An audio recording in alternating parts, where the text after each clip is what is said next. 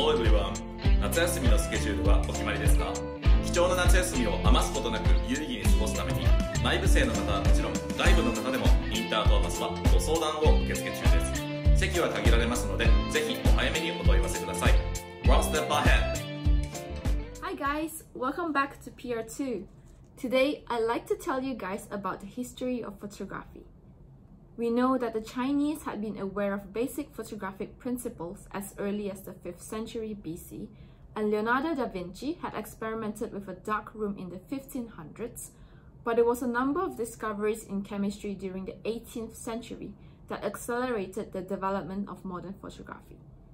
The discovery that silver salts were light sensitive led to experimentation with images of light on a surface that had been coated with silver.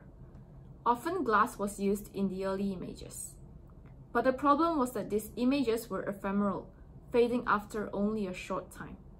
Some of the chemists who worked with them called them fairy pictures and considered that they were only momentary creations.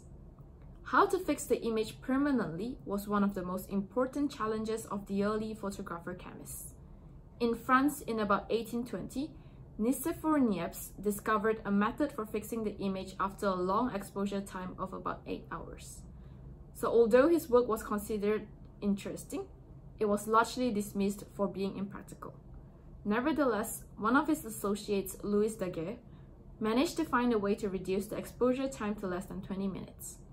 So the story goes in 1835, Daguerre was experimenting with some exposed plates and he put a couple of them into his chemical cupboard Opening it a few days later and to his surprise, the latent images on the plates had developed. Alright, that's it for now. See you!